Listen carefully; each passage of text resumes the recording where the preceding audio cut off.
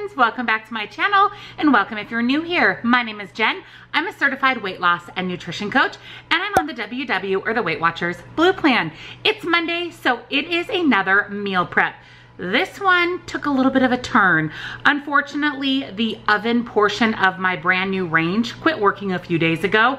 It's literally brand new, less than a year old. So we're in the process right now of waiting for a technician to come out and service it. It has a failure code. Luckily, the stovetop still works, but the actual oven does not. So I had to do some modifications to this week's meal prep. But no fear, I still have a breakfast, lunch, and a dessert for you, all without an oven. So this may come in handy for you down the road. This meal prep is easy peasy and everything is absolutely incredible. So if you're excited for today's video, please give it a big huge thumbs up. It really helps out my channel and lets me know to keep putting out these meal preps. Also, if you're new and you're not yet part of my channel, I'd love to have you hit the little subscribe button and the bell next to it so you're notified whenever new videos are uploaded. Meal prep happens every Monday, so make sure you're part of my channel.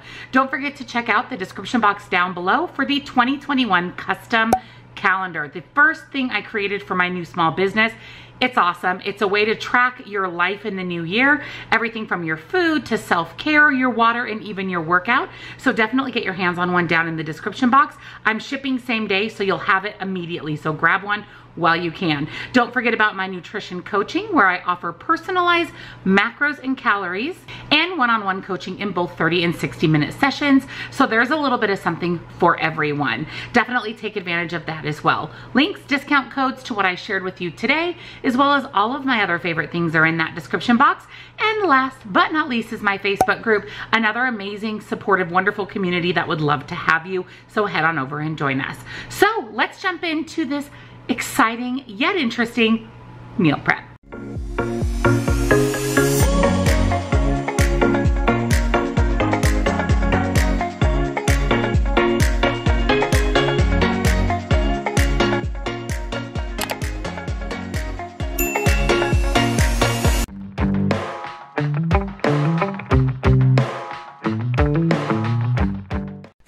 This week, improvising my original meal plan, I'm making a raspberry breakfast crepe. I just actually got a crepe maker, which I'm super excited about. So before I show you what's in this week's recipe, let me show you my crepe maker in case it's something that you've been looking at or that you're interested in. I want to share with you guys my crepe maker, kind of a little more in depth. This is the first time I've ever had one, and I'm pretty darn excited about it because it just doesn't do crepes. You can do blintzes, pancakes, bacon. You can really cook anything on this crepe maker that is cooked on a griddle. So I love that. It replaces basically two kitchen appliances and it's much smaller. So this is a 12 inch crepe maker from the company Basic Concepts. It has a very simple dial to use and understand. It comes with both tools to create your crepes, pancakes, blintzes, and then it comes with a hundred recipes that you can do on your crepe maker.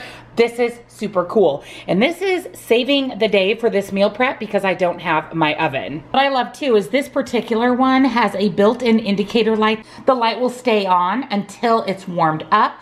And then once the desired setting is reached, it will go off. So that's really nice because then you know that your crepe maker is ready to be used. The wooden spatula, and then this is that cool spreader. If you guys have ever seen them make crepes, they like move it all around. I'm pretty excited to be like a crepe professional. It has lifetime replacement if it doesn't exceed your expectations. And then of course it's from Amazon, so you could always return it. But right now, this particular crepe maker is $49.95, but then there's a 5% off coupon.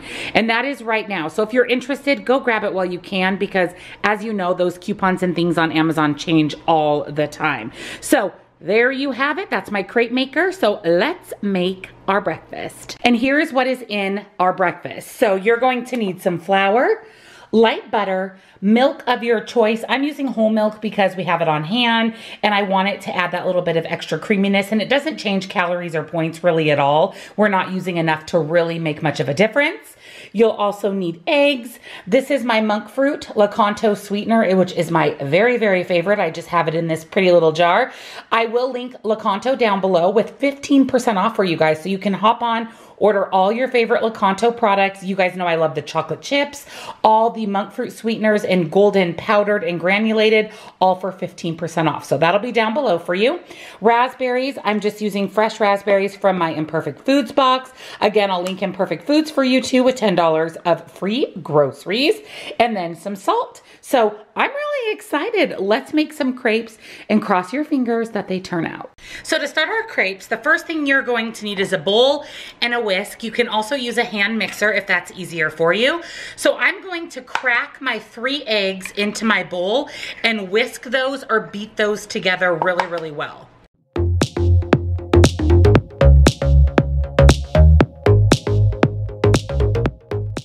Now we're going to beat in one cup of milk. Again, I use the whole milk and one and a half tablespoons of light butter melted. So go ahead and add that and beat that really, really well.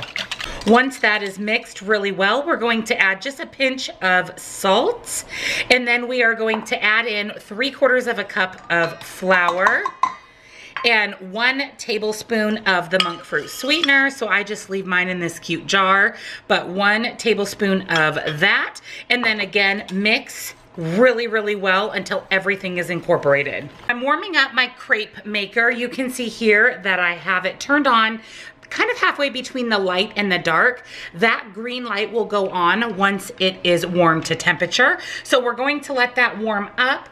I went ahead and measured out three tablespoons of light butter just so we can add that to the crepe maker to make our crepes. Here is our batter. It turned out really, really well. And I'm just going to use a one half of a cup to scoop it onto the crepe maker. I went ahead and sprinkled a little bit of the monk fruit over my raspberries just to sweeten them up a bit.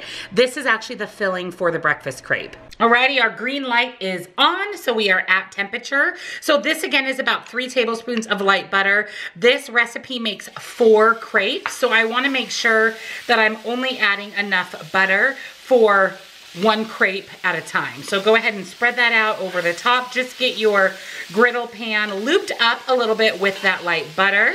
You could also use nonstick cooking spray if you wanted to save on a little bit of points.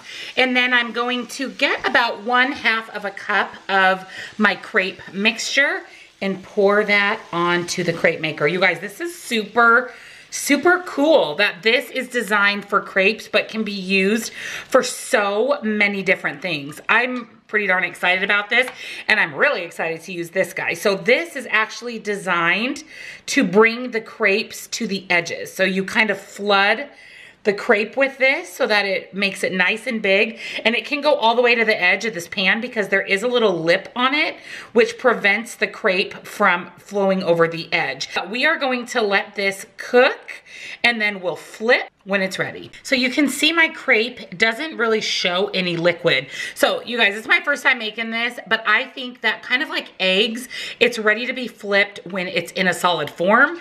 So I'm going to use the little wooden spatula that came with my crepe. Oh, I'm scared.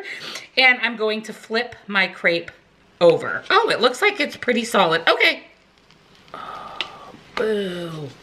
Okay, you guys, real life. That did not work so well.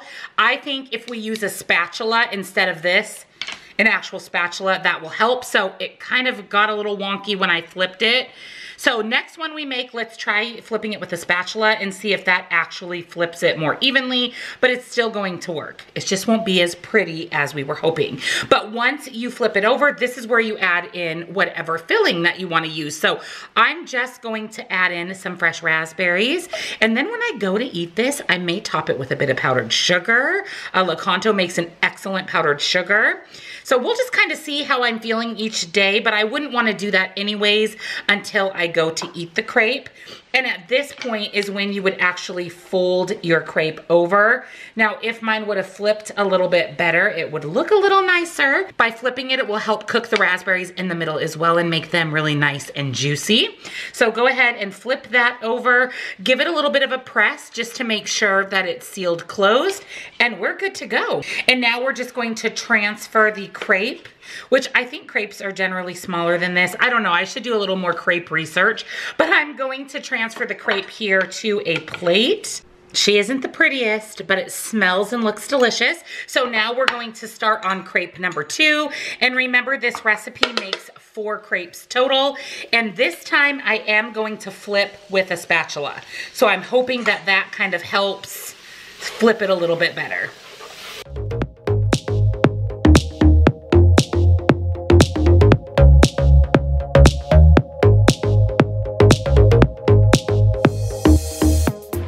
So that worked a lot better using the spatula. It wasn't perfect, but it definitely worked better. Now, if you had a wider kind of cookie type of spatula, that would be ideal. But you know what? That works a lot better. So we're going to add in the raspberries in the middle and kind of keep your raspberries towards the center so they don't poke out the ends and fall out. That's what happened with my last one.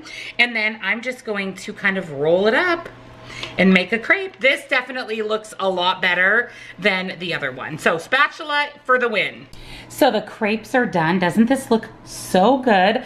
I added a little bit of powdered sugar to it. What I plan on having with my crepe is some zero point protein, some eggs. I might fry up some Canadian bacon.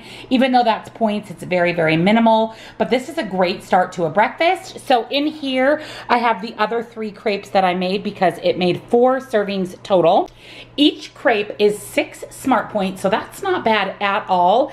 On all plans, 237 calories. So again, you could pair this with eggs, you could do sausage, bacon, whatever works into your points or calories. But this is a sweet, indulgent, easy breakfast and this crepe maker saved the day because of my oven. So I'll link it down below for you guys. And this is breakfast for the next four days.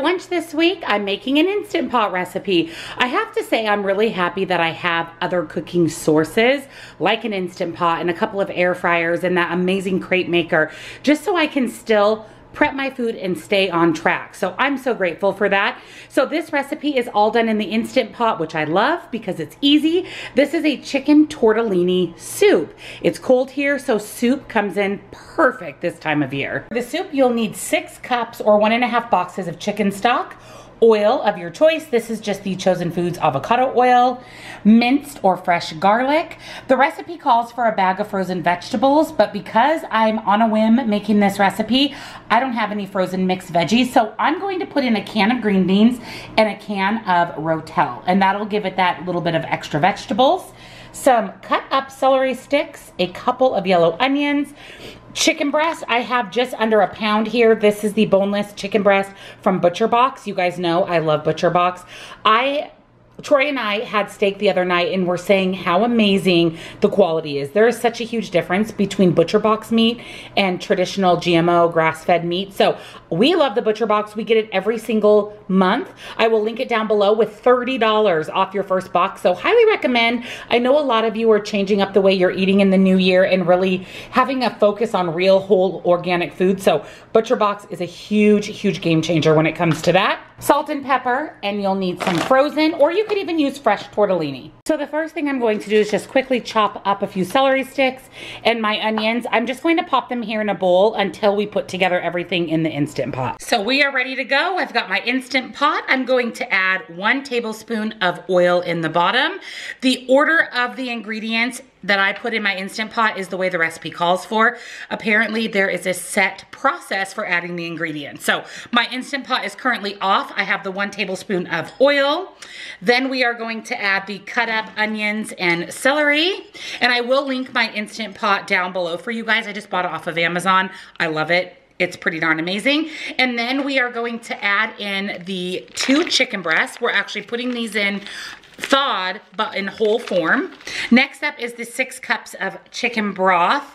Now the recipe says to add the tortellini in, but as I read further into the recipe, it tells me to add the tortellini in after it's done cooking. So I'm going to do that. I'm afraid that if I added it in at this stage, like part of the recipe says, that it would come out really mushy. So I am just going to add it in when this portion is completely done. So last but not least is some Um, garlic. I hardly have any left here in my container. So I'm just going to put the rest of the minced garlic in and then some salt and pepper.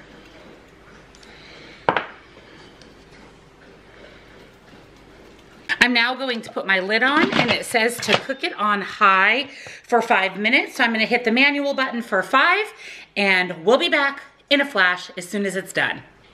All right, I just did the quick release on the Instant Pot. When all the pressure is released, we'll pop the lid off, add in our tortellini and our veggies. So I just popped the lid off. You guys, this smells so good. I'm pretty darn stoked for this lunch. So you can see my couple of chicken breasts kind of floating here in the liquid. I'm going to pop these out and shred these up, and then we'll re-add the chicken to the broth.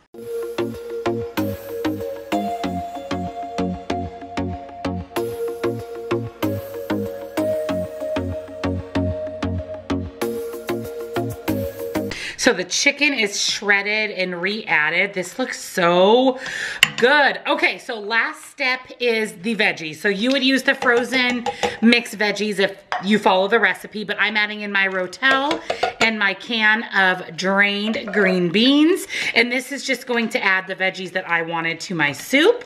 And then the entire time it was cooking, I had my frozen tortellini out. So it's nice and soft and thawed now. So make sure that you don't add it in frozen. If you use the refrigerated tortellini, that's perfect. Otherwise, just let it thaw out while your soup is cooking. And add that in. We're gonna pop the lid back on for five to 10 minutes. We just wanna make sure that that tortellini softens and it will soften all on its own by just being in the hot broth. The soup is ready to go. So our tortellinis are nice and softened. So what I'm going to do is dish this up. It makes six servings. I'm going to dish up four servings in four individual bowls and then two servings in one bowl for Troy. That way he can try a little bit of the soup too.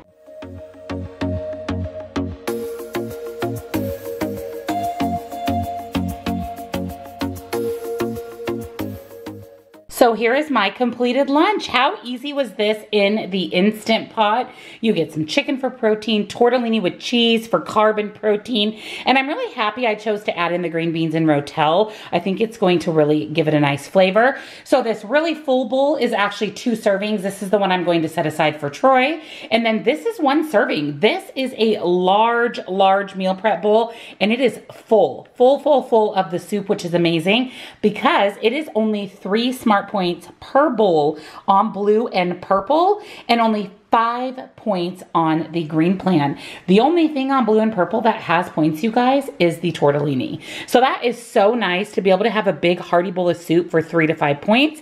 244 calories the way that I created it. Again, using the green beans and the Rotel. But this is lunch. I'm really, truly looking forward to this.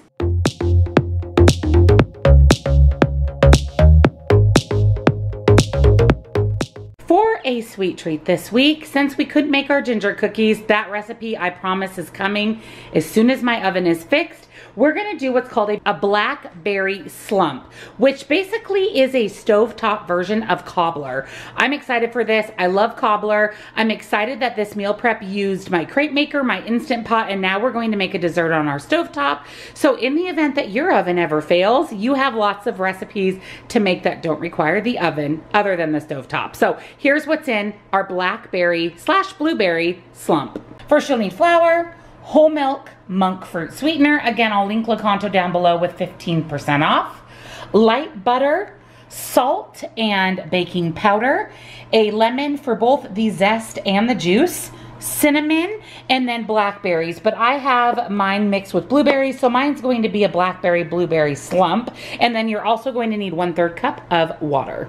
So to make the blackberry slump, the first thing we're going to do is make our dumpling batter. And what's really cool about this is we're going to drop the dumpling mix into the pan. So it's all done in one pan, which is really cool as well.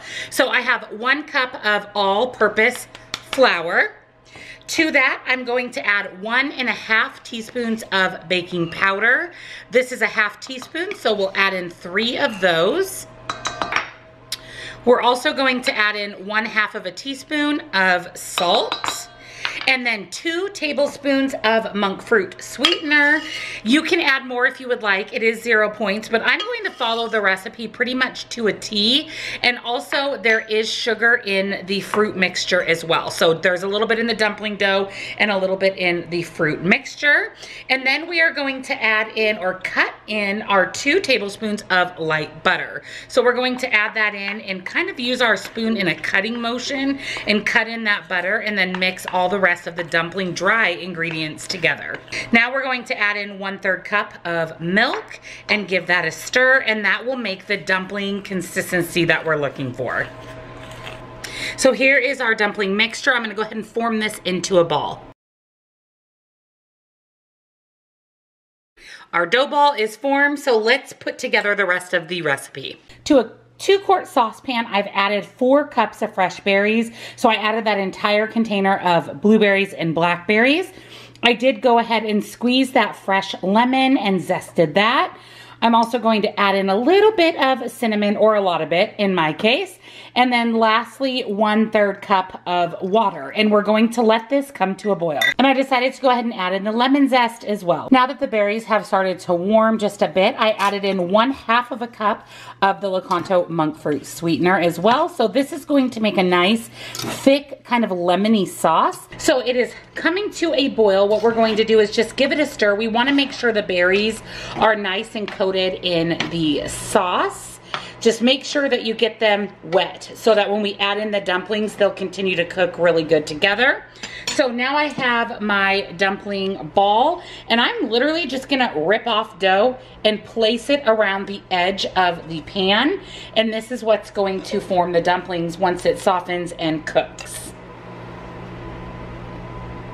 All right, dumplings are in. We are going to pop a lid on, reduce the heat just a little bit, and let this simmer and cook for about 25 minutes or until the dumplings are cooked through. The trick is do not remove the lid. Even to peek at the dumplings, leave the lid on for a solid 25 minutes. Look at how amazing this looks. My house smells like a bakery.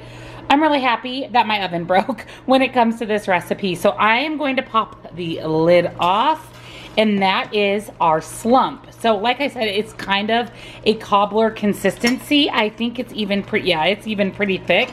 So I'm going to take this off of the heat, let this cool for just a few minutes. This entire pot only makes four servings. I'm not going to divide this out. I'm just actually going to leave it in the pot with the lid on and just pop that into my refrigerator. But I do want to give you guys some points and calories. So it's been cooling for just a couple of minutes. It's still pretty hot. I will let it cool 100% completely before I pop it in the refrigerator. But again, this entire pot makes four servings. It is only five smart points on all plans. And that's not bad at all considering there's a dumpling and a crust added to the fruit mixture. But look at how good this looks, you guys. It's thick.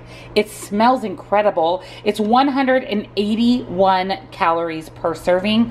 Wow. I Again, I'm excited. So even though my oven broke, these three recipes turned out better than expected. Thank you so much for joining me on another weekly WW Meal Prep. I'm so glad that I was able to still prep three really delicious recipes for you, even without an oven. Don't let anything stand in your way, you guys. We can make it through anything. So if you enjoyed today's meal prep, please give it a big, huge thumbs up. And if you're not yet subscribed, of course, we'd love to have you be part of our community. All you have to do is just hit that little red subscribe button and ring that bell next to it so you're notified when new videos are uploaded. Don't forget to check out the custom 2021 calendar, nutrition coaching, links and discount codes to everything I shared today, and my favorite things, and my Facebook group, another community that would be absolutely honored to have you. Thank you guys so much for watching. I hope you have a fantastic Monday, and I'll see you all next time. Bye.